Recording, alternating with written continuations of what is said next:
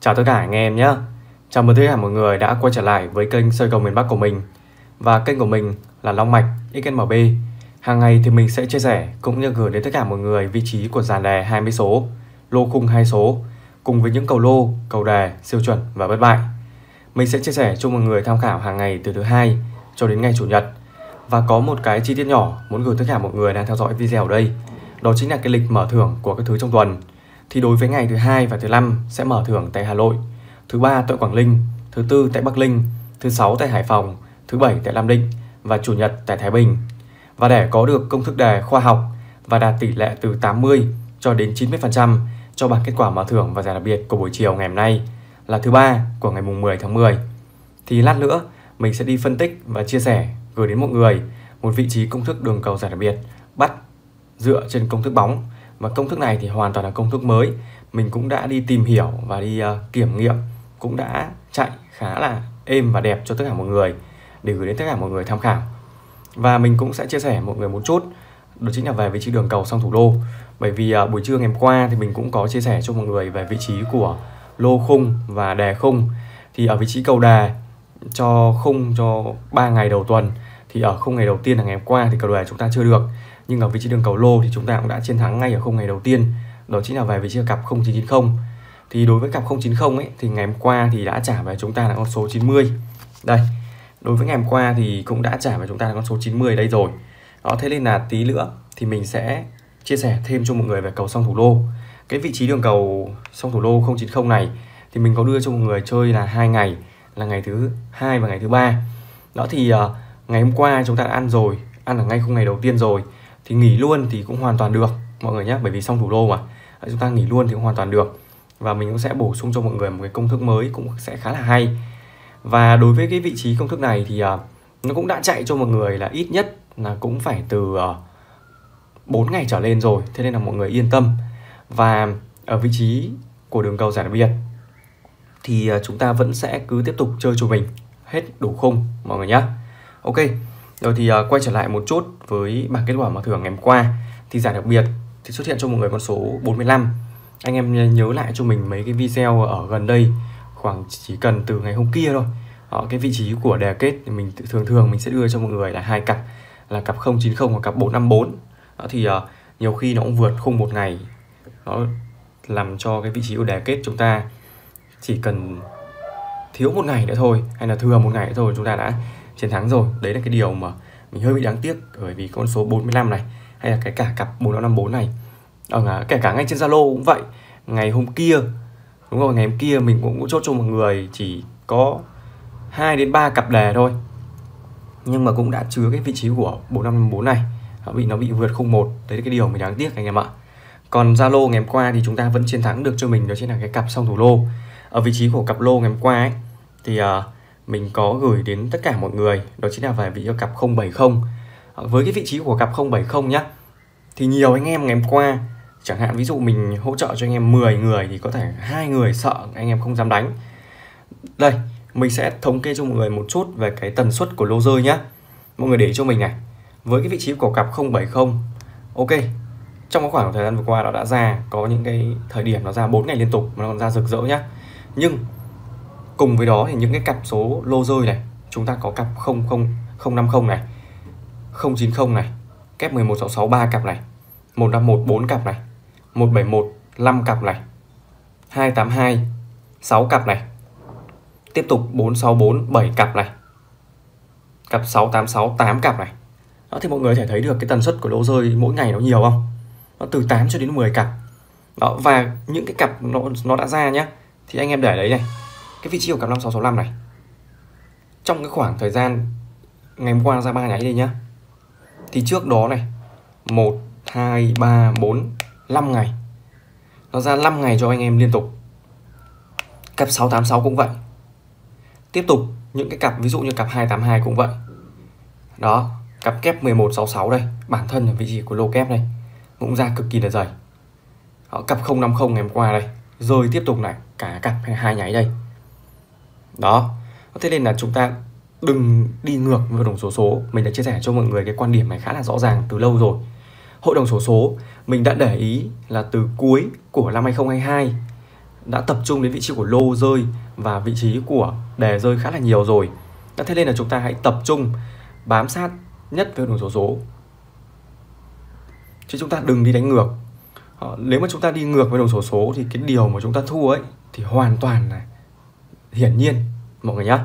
Ok, thì à, từ đây thì mình cũng sẽ cần khuyên tất cả mọi người là anh em phải nhìn nhận lại à, vấn đề để một cách nó chặt chẽ nhất. Bởi vì càng về cuối năm thì hội đồng sổ số cũng sẽ có nhiều cái bất ngờ và cũng sẽ có những cái cách quay khó hơn rất chi là nhiều mọi người nhé để chúng ta tránh cái tình trạng bị xa bờ ở cái những cái tháng và những cái dịp cuối năm như thế này. Rồi và bổ sung cho anh em à, đầu tiên là về vị trí của đường cầu à, về sông thủ lô trước nhé rồi thì sau đây thì à, chúng ta sẽ cùng mình quay trở lại với cái bảng thống kê hàng ngày. Mình sẽ đi phân tích và chia sẻ gửi đến mọi người về vị trí của đường cầu sông thủ đô thì mình cũng sẽ thống kê cái vị trí đường cầu này nó chạy khoảng độ tầm 4 ngày quay trở lại đây nhá.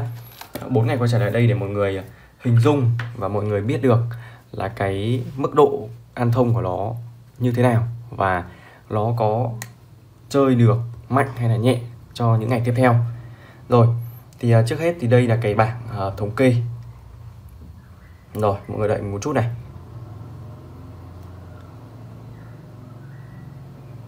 Ok. Rồi trên đây là cái bảng thống kê bắt đầu từ cái ngày mùng 6 tháng 10 nhận định cho ngày mùng 7 nhé. Từ ngày mùng 7 nhận định cho ngày mùng 8. Tiếp tục ngày mùng 8 ăn thì nhận định cho ngày mùng 9. Và ngày mùng 9 ăn thì chúng ta sẽ nhận định cho buổi chiều ngày hôm nay là ngày mùng 10. Vị trí của ngày mùng 6 thì một người để ý cho mình này, đường cầu này là một sự kết hợp làm hoàn toàn trong G5. Tại G5.1 lấy cho mình con số đầu tiên. Tiếp tục tại vị trí của G5.6 cũng lấy cho mình con số đầu tiên. Thì bởi đây là về vị trí của đường cầu song thủ đô nên chính vì vậy chúng ta không cần quan tâm cái vị trí nào đứng trước và vị trí nào đứng sau bởi vì nó sẽ báo về cả cặp. Thì ở G5.1 chúng ta có con số 6. Tại vị trí của G5.6 chúng ta có con 5 và kết nối thì báo cho cái vị trí của ngày mùng 7 tức là thứ bảy đấy. Đó chính là cặp 656. Rồi, thì bảng kết quả mở thưởng của ngày mùng 7 thì cũng đã trả về chúng ta đó chính là cái con số 56 ở đây. Rồi, tiếp tục sau khi ngày mùng 7 chúng ta ăn nhá. Sau khi ngày mùng 7 ăn này, chúng ta đã áp dụng vào vị trí của G5 cho mình này. Ok, anh em nhìn thấy rõ chưa? Rồi, tại G5.1 lấy cho mình con số đầu có lên con 7 này. Tiếp tục vị trí của G5.6 lấy cho mình con đầu thì có dưới này là con 9. Vậy 7 kết hợp với 9 thì lại báo cho ngày mùng 8 là cặp 797. Thì mọi người nhớ lại và thống kê lại bảng kết quả mở thưởng của ngày mùng 8 thì cũng đã trả về chúng ta là đây con số 79 đây này. Anh em nhìn thấy con số 79 chưa? Đó. Rồi, sau khi vị trí của ngày mùng 8 chúng ta ăn, chúng ta lại áp dụng cái công thức này để nhận định cho ngày hôm qua là ngày mùng 9. Thì chúng ta có G5.1 ở đây, chúng ta có con 5 di chuyển vị trí của G5.6 lựa chọn con đầu chúng ta có con 1 và sẽ báo về cho một người đó chính là cặp 5115 5115 này thì bảng kết quả mở thưởng ngày hôm qua thứ nhất ở đây chúng ta có con số 51 này đây cũng lại tiếp tục 51 51 ngày hôm qua. Ra liền ở bộ G4.1 G4.2 này. Ra tới hai nháy, anh em ạ, khá là hay cho cái đường cầu này. Rồi, thì bây giờ chúng ta sẽ áp dụng cái vị trí này. Chúng ta sẽ có cho mình ở đây là G5 nhé G5.1 chúng ta lựa chọn con đầu có con 7 này. Đây. Tiếp tục G5.6 chúng ta lựa chọn con đầu có đây con 2 nhá. Thì 7 kết hợp với 2 chúng ta sẽ có là 727 rồi thì bây giờ thì mình sẽ viết ra cho mọi người đó chính là về vị trí của cái cầu song thủ lô nhá. Cầu song thủ lô này thì à, chúng ta cũng sẽ chơi cho mình vào à, khung 2 ngày là ngày thứ ba cộng với ngày thứ tư. Đó, cộng với ngày thứ tư nhá. Nhớ cho mình là khung hai ngày đấy. Rồi thì đây là một cái sự kết hợp này. G5.1 rồi đầu tiên là tại G5.1 tiếp tục kết hợp cho mình với vị trí của G5.6 thì đầu tiên tại vị trí của G5.1 chúng ta nhìn lại cho mình. Thì có đây là con số 7 nhá. Rồi chúng ta có cho mình đây con số 7 này. Tiếp tục tại vị trí của G5.6 thì chúng ta có cho mình đây con số 2 và đi về cả cặp song thủ đô chúng ta không cần phải quan tâm cái vị trí nào đứng trước vị trí nào đứng sau. À, chúng ta có đầy đủ cho mình. Đó chính là cặp song thủ lô 72 và 27 rồi đây là một cặp song thủ lô khá là hay. Nếu mà để nhìn nhận về cái cặp song thủ lô này nhá thì mình sẽ đi phân tích cho mọi người một chút này. Thống kê với vị trí của cái tần suất cặp lô tô. Thì như mọi người có thể nhìn thấy trước màn ảnh đây thì đây là cái thống kê của vị trí cặp 2772 đó 2772 thì ở một cái khoảng thời gian này này nó cũng đang xuất hiện khá là dày. Đó cách đây khoảng độ 3 ngày thì nó đã có một cái khoảng thời gian ra 5 ngày liên tục. Nhưng ở cái khoảng thời gian trước thì nó cũng đã gan tới 6 ngày liên tục ở đây. Đó, nó ra để nó cân bằng lại và tổng cái lượt về của cái cặp số này thì nó là 20 lượt trên khoảng biên độ là 30 ngày. Đó, rồi thì với cái vị trí này thì 2772 ngày hôm qua thì cũng đã có đây là con số 72 rồi. Nó thì nhận định đây là về vị trí của lô rơi. Nếu mà chúng ta lựa chọn cho buổi chiều ngày hôm nay, nó sẽ là lô rơi. Còn để chắc chắn nhất thì mình cũng đã đi nghiên cứu đầy đủ cho mọi người và chúng ta lên lựa chọn cho mình cái vị trí của cặp song thủ lô này. 727 này, chúng ta lựa chọn ở tỷ lệ khung hai ngày. Đánh cho buổi chiều ngày hôm nay và buổi chiều ngày mai, nó là cái điều hợp lý nhất, mọi người nhá. Ok, thì anh em có thể lưu lại cho mình cái vị trí cặp song thủ đô này. Rồi. Ok đối với cái vị trí của cặp 090 kia nhá, thì mình cũng sẽ có cho anh em những cái chú ý như sau. Anh em nào mà kết, anh em nào mà trùng máu thì anh em vẫn có thể là chơi tiếp cho mình bình thường, đều được, không vấn đề gì cả. Được chưa? Rồi còn nếu mà anh em nào mà ngày hôm qua đã chiến thắng rồi và muốn đánh những cái cặp số khác không muốn chơi video 090 nữa thì mọi người có thể lựa chọn cho mình cái vị trí này. Ok đó là những cái chia sẻ và có những cái à, uh, thống kê và phân tích chi tiết chú ý đến tất cả mọi người chơi vị trí cầu lô trước. Và tiếp theo đây thì mình sẽ đi phân tích cho mọi người ở vị trí của đường cầu giải đặc biệt. Đó, ở vị trí đường cầu giải đặc biệt thì uh, mình sẽ chia sẻ với mọi người một đường cầu thôi và trước khi chia sẻ cho mọi người ở cái vị trí công thức này, thì à, mình cũng xin nhấn mạnh và nhắc lại cho mọi người một lần nữa đó chính là cái công thức này là đây một cái công thức hoàn toàn mới và tất cả mọi cái đường cầu và mọi cái con số mình đưa ra thì chỉ mang tính chất tham khảo và không có chuẩn 100%. Đấy là cái điều mà mọi người phải hết sức lưu ý và cân nhắc cho mình là không có chuẩn 100% anh em nhé.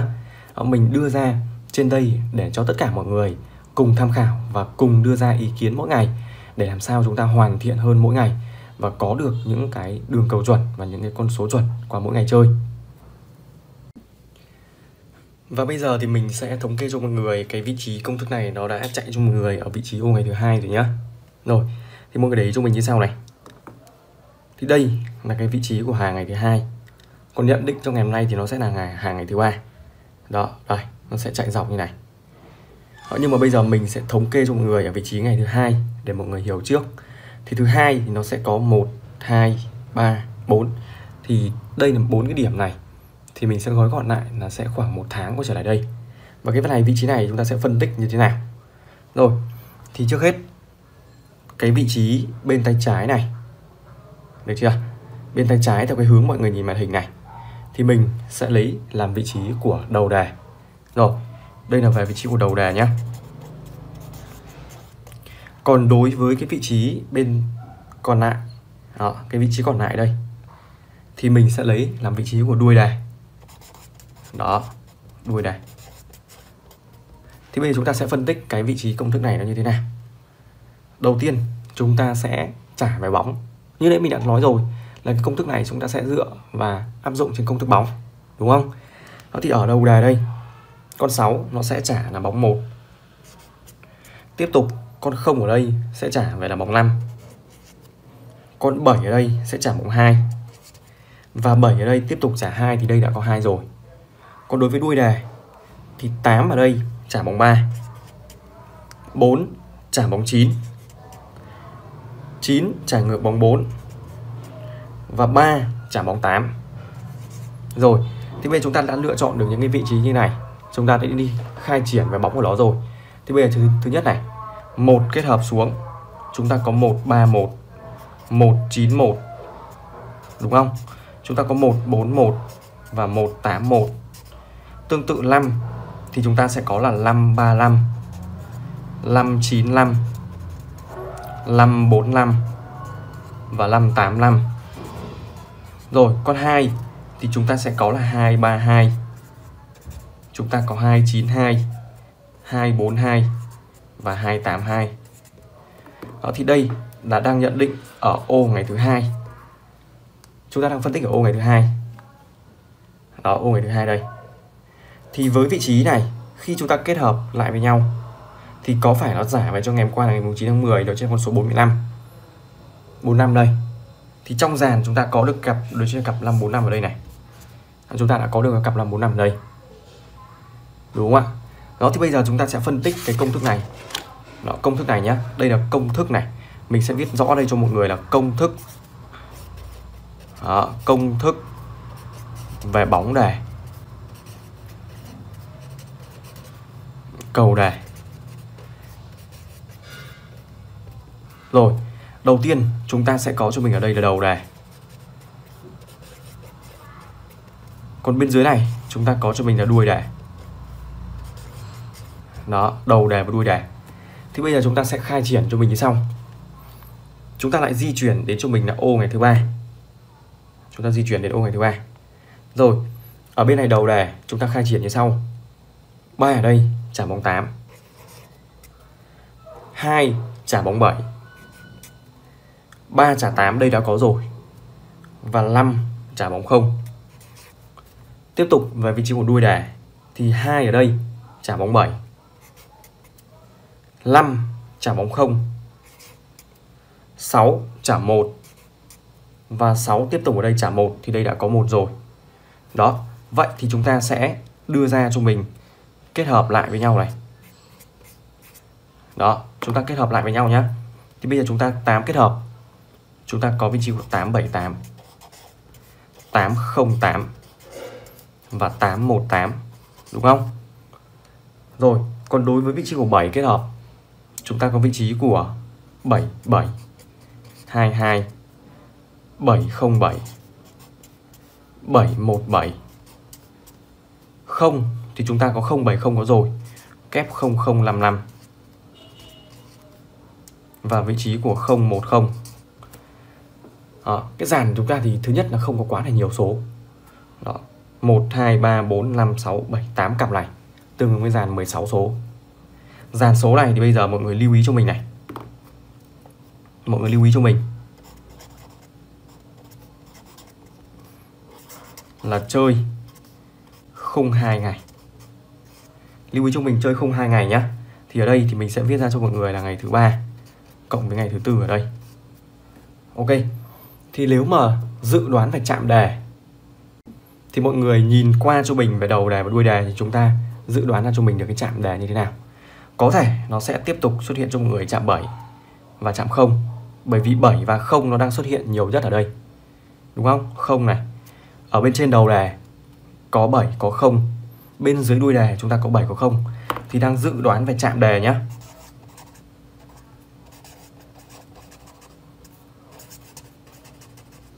nó đang dự đoán về chạm đề thì chúng ta có vị trí của 0 và 7 đó đang dự đoán.